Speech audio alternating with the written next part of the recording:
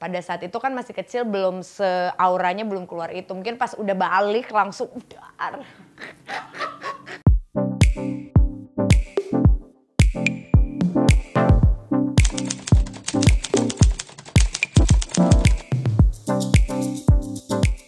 Emang aku sebenarnya su aku yang duluan suka itu mereka berdua tuh ikut-ikutan aja. Tiba-tiba aku kan lagi ini kan lagi main handphone terus aku komen eh, Karirin juga suka. Tiba-tiba Luna pas lagi ketemu aku ambil handphone aku dia cium-cium itu Iqbal.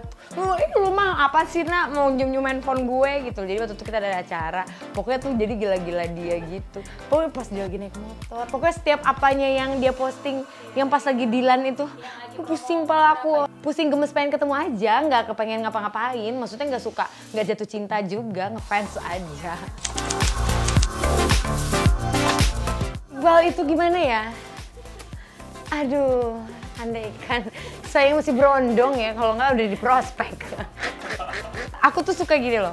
Aku tuh uh, jadi kayak ngebayangin itu bukan nyamain sama suami ya, tapi maksudnya kadang-kadang kan suamiku suka gombal-gombal. Gombal-gombal itu tuh tapi bukan gombal-gombal murah gitu loh Nah kalau Iqbal tuh juga kayak gitu, gombal-gombal tapi kayak ih gemes deh gue gitu. Jadi kayak nontonnya itu tuh aku sampai cubit-cubit tau gak? Ih gitu kayak kayak gitu-gitu gitu loh.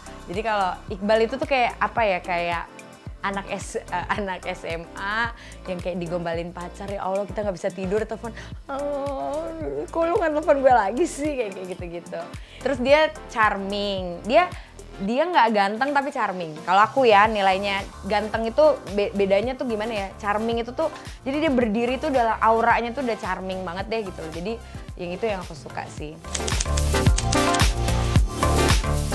Nggak, tapi aku dari waktu dia dari Cowboy Junior tuh aku udah tahu, udah kayak Ah, ah, jadi waktu itu kan aku pas dia lagi zaman Cowboy Junior tuh uh, bilang, ih pengen deh ulang tahun ngundang Cowboy Junior. Dan sama hati aku, gimana ceritanya gue yang ulang tahun kok gue undang Cowboy Junior karena aku suka.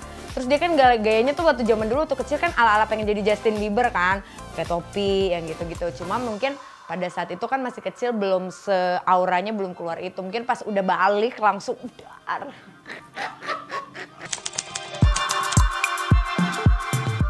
Belum nanti makanya mau sampai kan udah minta nih rencananya mau minta nomor telepon emaknya nih. jadi jadi rencananya pengen ketemu nih bertiga terserah Dilan mau terserah biarin aja kita mau foto aja bertiga Mbak Dilan tapi nggak tahu jadi apa enggak cuy ya. Kayaknya bakalan aku lakuin deh. Wah kelar tuh langsung heboh dunia netizen. Pokoknya nanti aku akan bilang aku akan bikin grup gimana itu jadi bisa pertemuan Iqbal. Katanya kan dia mau pulang. Tadi aku lihat katanya tanggal berapa Malang apa gitu-gitu